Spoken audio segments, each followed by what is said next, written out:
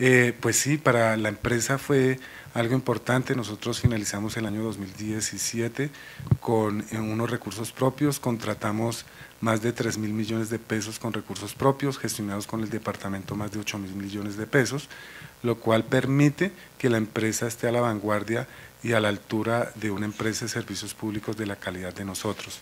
Nosotros compramos eh, elementos, maquinaria pesada, compramos una retroexcavadora, eh, elementos menores como motobombas, cortadoras, martillos eléctricos, pues para mejorar la atención y la reacción de algún daño o alguna eh, en la red que se nos pueda presentar. En cuanto a proyectos con el departamento, eh, plan maestro de acueducto alcantarillado, actualización de, de, estudios y diseños, la construcción de colectores matrices fase 4, que a hoy podemos decir ya en esto empezamos algunas obras.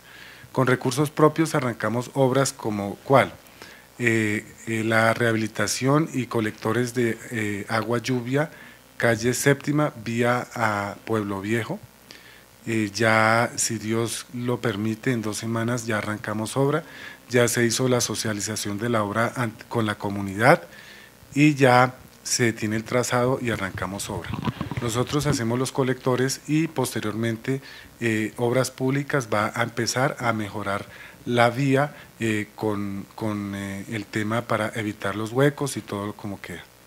Empezamos obras también con recursos propios, calle segunda, carrera cuarta, eso es centro, también renovar redes de acueducto alcantarillado, ya en la arboleda el año pasado finalizamos una renovación de red, también nos fue muy bien.